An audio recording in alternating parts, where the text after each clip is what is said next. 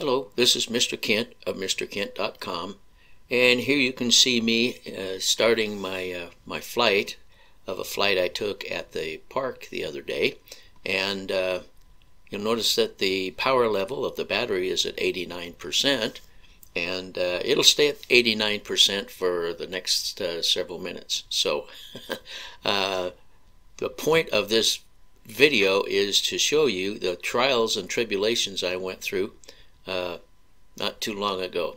First of all, let's uh, uh, let's go and take a look at what I had recommended as a balanced charger, and uh, you'll see me making a video of how to use it. Well, here I am with this new balanced charger that I had recommended people to buy, which now I don't recommend that you buy it.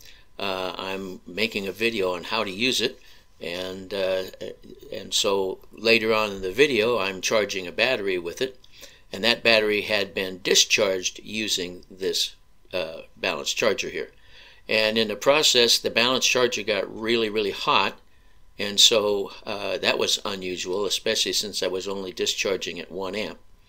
And uh, so later on in this video as I'm uh, charging a, a battery the um, the charger starts beeping and I get a uh, battery disconnect right in, in the middle. Actually, I was to the balancing part. And so uh, when I decided to uh, stop and then take a look at what the voltages were, uh, I was surprised to find uh, what I'll show you here next. Well, in this picture here, you can see the voltage of cell number one in the uh, battery that I was was charging with the uh, with the balanced charger I was demonstrating, and uh, this is the voltage that ended up when it when it uh, gave me the warning.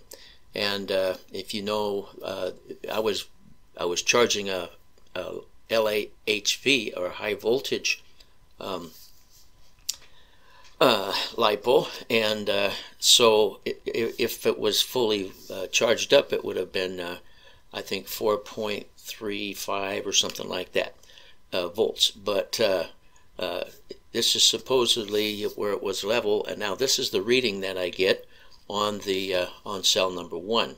So uh, uh, a, the bottom line of a of any lipo battery is 3 point I think 3.7 volts is the standard voltage, whether it's a LIHV or just a standard lipo, and a standard LiPo, uh, the uh, the battery voltage, the maximum battery voltage is I think uh, 3.7 volts, and on a LIHV it's uh, 4.35 I think.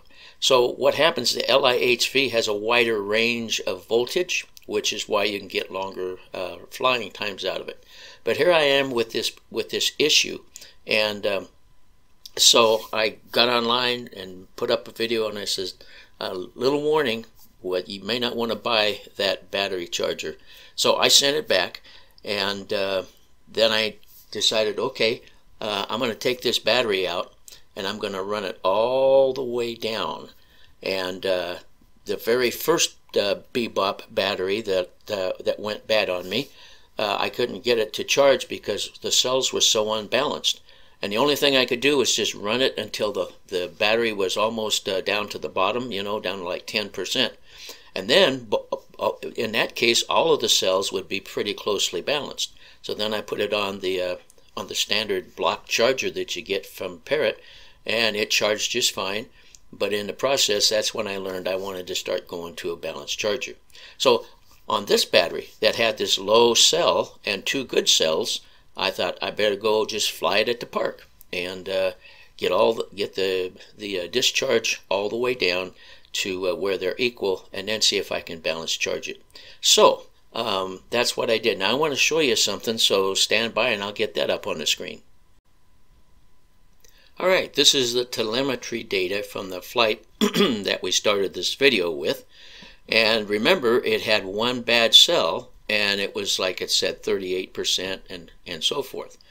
But uh, the total voltage for about the first five minutes was, as you can see, 89%. Uh, 55 minutes in or 55 seconds in at 3 minutes and 53 seconds, still at 89%. And then finally, about 5 minutes into the video, it started going back to normal. And as you can see, you can look up here or you can look down here at the bottom, but uh, it flew for 29 minutes as if it was fully charged. And yet, uh, that balance charger told me it, there was a problem and that uh, my little battery voltage uh, device uh, told me it, it was uh, not charged up. But something weird was going on, and I I don't know. I can't say what it was. I don't know what it was. But anyway, it flew for 29 minutes, and I went up and down the park. It was a very boring flight, and I went up and down the park and uh, flew and flew and flew, and then brought it home, put it on my uh, balance charger, my standard balance charger, because I sent that other uh, Chinese thing back. So uh, let's take a look at what I got when it was fully charged. All right, here's my old standard Tenergy uh, LiPo battery charger, balance charger. And you can see that the uh, voltage on each cell came up and came up to 4.2 volts each. And uh, so, so that was almost a full charge. Uh, a full charge would be 4.35, uh, I think it is. And uh, I think that, let me see, 20, uh, I think the difference is 150 millivolts if I'm not just off the top of my head. But uh, so when I when I put this into the uh, into the uh, voltage meter, when I put it on the uh, the drone, it registered 99% because it's not 100%. So this charger here, my regular old TB6B, will charge a uh, LIHV battery up to 99%. It won't go above the 4.2 volts for some reason, but that's okay because now I don't have to buy a new charger. And also, the uh, the other thing to keep keep in mind is that uh, when you if you just hook a charged up battery to a TB6B regular old charger, uh, it'll tell you oh it'll give you a warning says over voltage. In other words, you can't you can't just hook up a charged up battery to this. It, it has to be discharged below uh, the cell voltages of uh, uh, I think uh, 3.7 or something like that. Or anyway, this will work. This this charger will work, and uh, so uh, I don't know. I think I think the the um, the if, if you don't want to spend any money, any more money on a balanced charger, just keep the one you have and uh, go fly your uh, drone. Now, if I wanted to put it at hundred percent, I would probably hook it up to the block charger that comes with the Bebop. But if I did that, I'd probably get a green light saying, you know, it's close enough, 99%. I haven't tried that yet.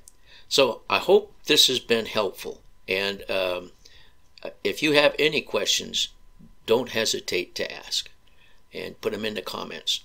And uh, want to thank you for watching, and God bless you.